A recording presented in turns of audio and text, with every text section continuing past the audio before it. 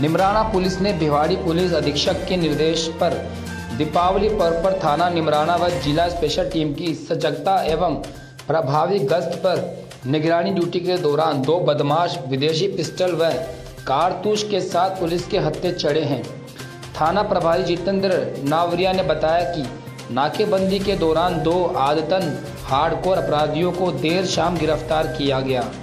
पकड़े गए दोनों बदमाशों पर हत्या हत्या का प्रयास व लूट सहित कई मामले दर्ज हैं।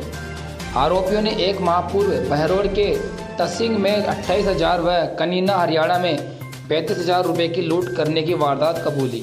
साथ ही हरियाणा के बाछोद गाँव में हुए मर्डर व निमराना के बजरंग होटल पर गोली मारकर हत्या के प्रयास में आरोपी हैं।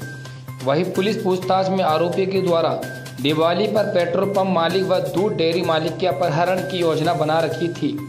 लेकिन निमराना पुलिस की सजगता से, वारदात से पहले ही दोनों बदमाश धरे गए। आरोपियों द्वारा तीन वर्ष पूर्व दिवाली पर बहरोड व निमराना से दो अलग अलग व्यक्तियों का अपहरण कर फिरौती मांगी थी।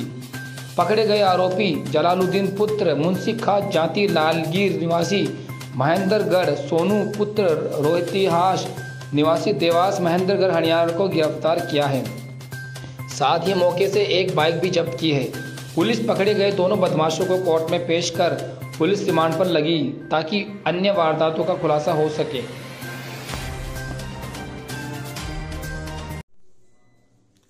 दीपावली दीपावली पर्व पर पुलिस थाना निमराना क्षेत्र में सघन चेकिंग और नाकाबंदी और अपराधियों की पहचान सुनिश्चित करते हुए उनकी धरपकड़ के संबंध में पुलिस अधीक्षक महोदय जिला भिवाड़ी श्री राममूर्ति जी जोशी द्वारा निर्देश फरमाए गए थे।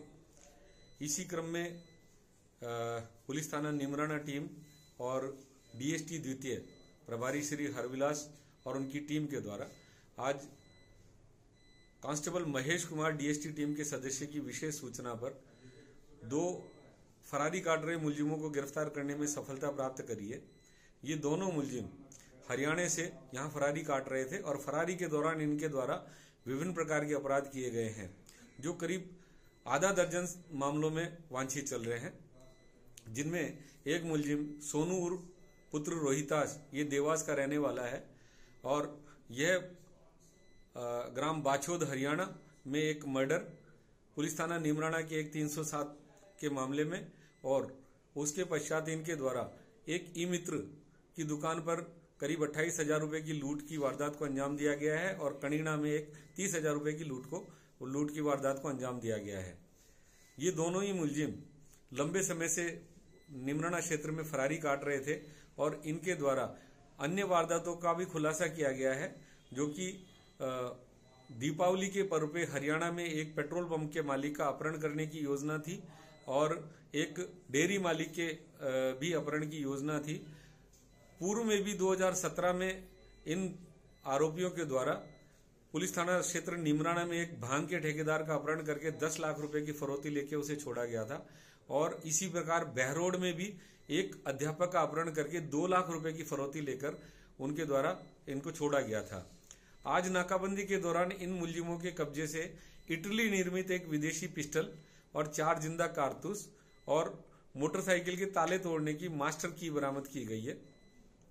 दोनों मुलजिमों को गिरफ़्तार किया गया, एक इनके कब्जे से मोटरसाइकिल बरामद की गई है। इनके संबंध में प्रकरण दर्ज करके अनुसंधान किया जा रहा है कि इनके द्वारा और कौन कौन सी वारदातों को अंजाम दिया गया है।